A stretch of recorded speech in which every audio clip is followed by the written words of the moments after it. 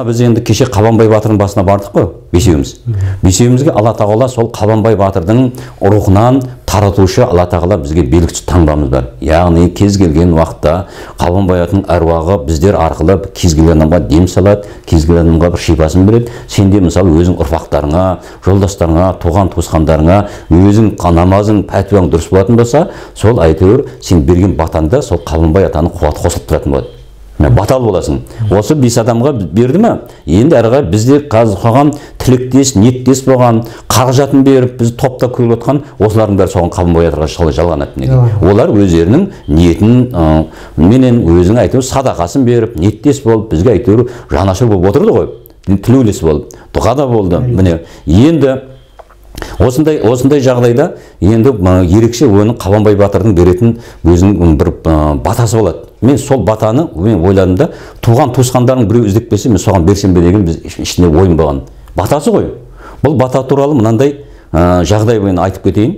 Мынау бата туралы бұл біздің ә, бата ә, орыстарда айтады ғой подъезд провожает дейді. Мына киіммен байланысты сыртқы өрісіңмен. Сен жеті өрісің түгел болса киімің түгел болса сенің батаң қабыл болады. Алла тағала солай мына өріс арқылы. Алла алланың деген бүкіл хикметі біздің өрісімізде тұр да.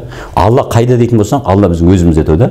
Ол жақын біздің өрісімізде бізге арыз ауытып алла қорғап тұрады. Міне алла деген сол ол ә, қандай нәрсені де сіңірмен ақ ұғымды көбі түсінбейді ғой оны кейін тағы талқылайық сонан иә ысқақ ысқақ пайғамбар өзі қартайып әбден жас келгенде көз дұрыс көрмейтін болып қалған екен да көз көрмейтін.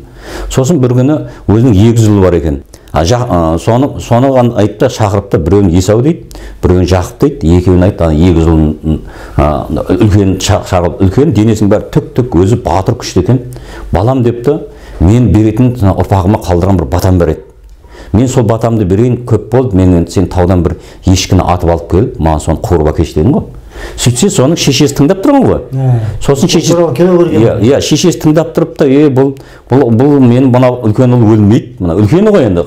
Бірінші шыққан жерге өмірге келген онан да ана әлжуаздай мына жақып алсын оны дейді да дереу анау тауға кеткен кезде ана жақып шақырып алады сен ана алда бір бөртені алып кел дейді.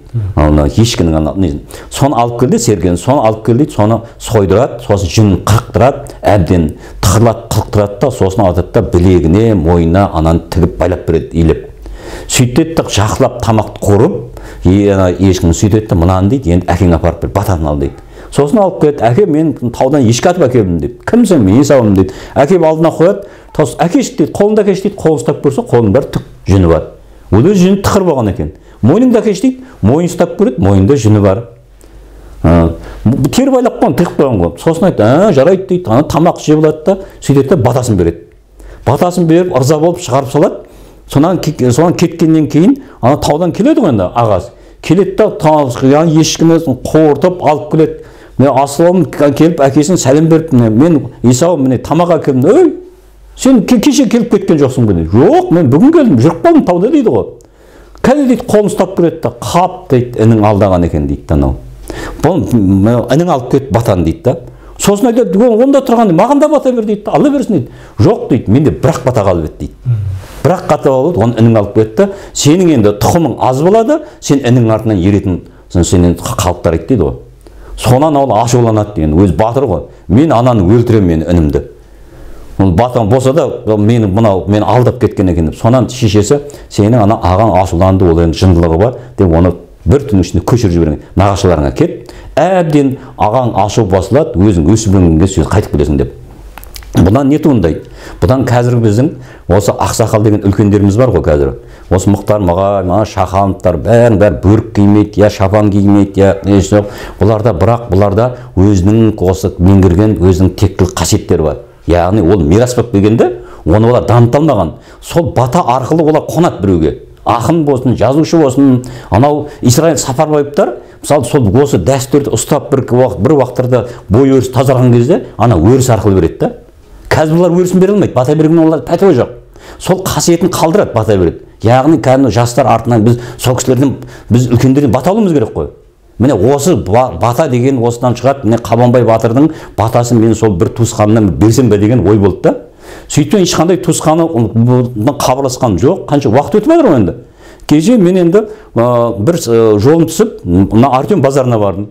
Бардым да енді Иә, иә сол сөйтіп сөйтіп енді ана қарбыз ала салайыншы бір э, не қылсайын енді жаңа батқан деп мына осы оңтүстік жағынан енді мен қанша дегенмен қызылорда болып болғаннан кейін сол жақтан келіп қалды ма деген бір ой болды да енді. Сөйтіп барсам жоқ онда жоқ сарыағаштан келіп жатыр екен. Сөйтіп сарыағаштан ана өзбек екен сонан қар, қарбыз қауын алып тұрсам бір кісі келіп мені арқамнан ұстап алып ассалаумағалейкум деп өдеу жігіт екен ірі. «Ы, қалай аға? деп кәдімгі елпектеп жатыр да сосын мен не болды десем «Ы, осы сізді біз ютубтен көріп жатырмыз е көрсең де көріп жатсыңдар ғой деп мен мән бермей тұрсам жоқ анау сіз қабанбай туралы батыр туралы айтыпсыз деп не жатыр да? Сосын айттым жоқ зираты табылды енді зираттауға болады деп мен сөйтіп түсіндіріп жатырмын сосын айтады аға жүріңіз жүріңіз не мен сізге қарыз беремін сонан бір дәу қарбыз енді анау кісім екеуін көтеріп алып қойған. Сосын ана кешірім сұраймын енді «Ы, анау енді сый беріп отыр мен тастап кетуіме болмайды дедім да.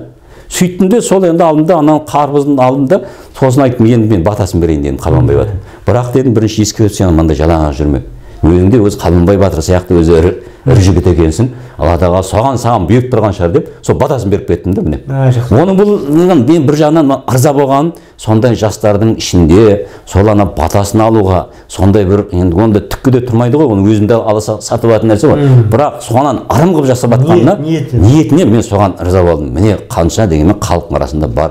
Түбі сол жастардан бірдеме шығады ғой қанша дегенмен. Осындай осындай. Қазір міне ә, ата жол дегеннің өзі сол батаға негізделген ғой. Біз қазір енді халыққа сол әруақтардың батасын жеткізуге міне тұруымыз керек. Бір. Сол батаменен ерге елге көреді деген жаңбырмен жерге көреді деген жағдай мінекей. Біз батаменен қазір болсақ біз жаңбырымыз да дұрысталады табиғатымыз да дұрысталады ел биліктің өзінің арасынан ақымақ болмаса енді ертең мынандай жағдай келеді. Қазақ халқының осы ата дәстүріне әлем таңғалып осы мойындаған кезде біздің ғалымдарымыз ел биліктеріміз мойындайтын болады. Бірақ оған кеш болады.